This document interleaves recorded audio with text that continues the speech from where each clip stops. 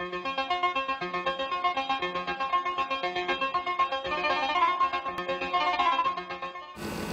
a bowl and a sieve on a scale and align it to absolute zero in order to get a proper measurement of how much flour you will have. You will need approximately 450 grams of flour.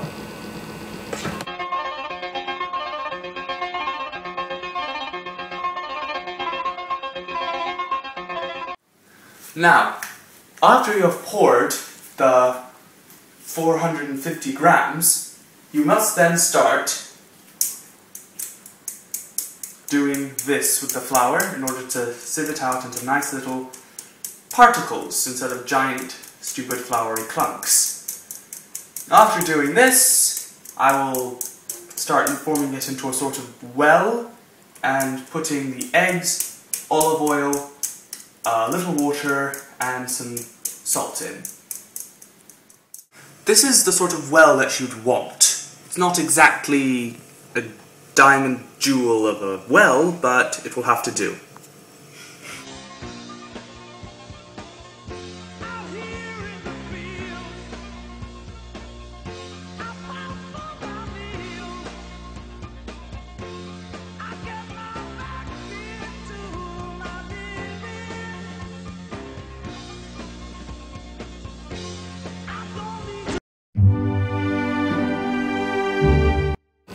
I have mixed all the ingredients together with my bare fingers.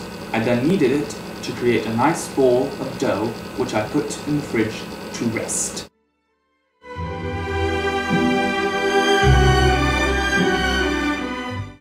Taking a, a small portion of the rested dough out of the fridge, flatten it out on a lightly floured surface, but not too much, you don't want to do all the work. Now, you put it through in portions through this pasta machine.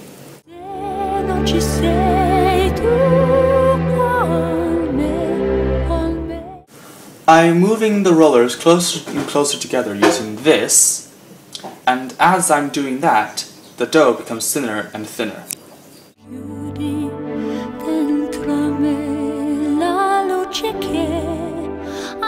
Piece by piece, I'm putting it through the pasta machine.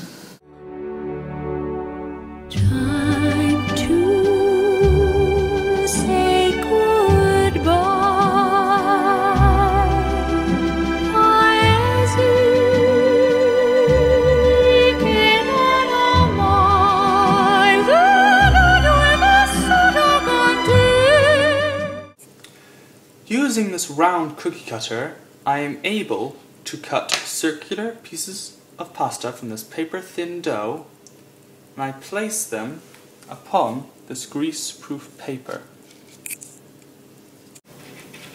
I place the circular pasta on the grease-proof paper in order to stop it from sticking to anything else and to help it dry out properly.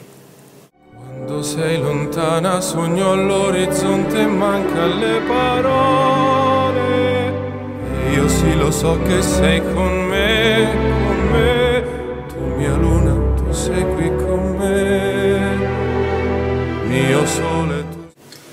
While the pasta is setting, I have started on the bolognese sauce. I have one chopped onion, two garlic cloves crushed, and one grated carrot. And I'm also going to mix it with this tin of tomatoes. This pot is on a heated stove, and there is some olive oil at the bottom. When it starts sizzling, you can add the onions and garlic in. A way to test this is to put in a single piece of onion. It is not yet ready to sizzle. I've turned the heat down a bit, the onions and garlic are now soft, and I'm now adding the carrots and I'm going to stir those in with the onions and garlic for about 10 minutes and then I'm going to mix it with the meat. After the 10 minutes, you can now start adding the meat. Now make sure you stir it to break up the giant lumps and after a while, about 10 minutes, they'll all, all the meat will start to look brown. That's when you can start to add the tomato sauce. The meat has all gone brown, you can now add your chopped tomatoes. We have blended them, but you can have them whole if you like. After you've stirred them all in with the meat and everything else, you can then leave it to simmer for about an hour and a half. While the sauce is simmering, I've decided to make the eyes and mouth of the, of the Smiles pasta. After clearing away all the mess I made while making the bolognese sauce, I can now begin. I use chopsticks to make the eyes as a sort of pivot thing. Then I use a knife to make the mouth.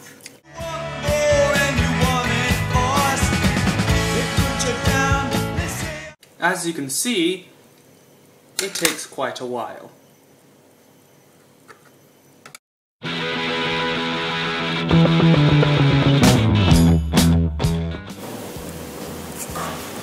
Didn't take that long, did it?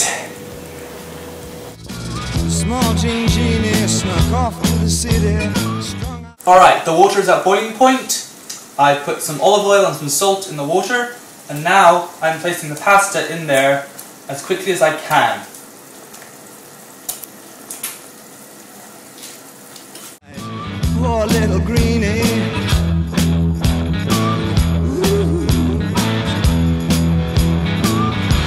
back on Jean Genie lives on his back.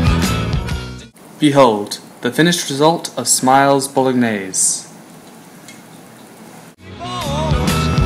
Jean Genie, let yourself go.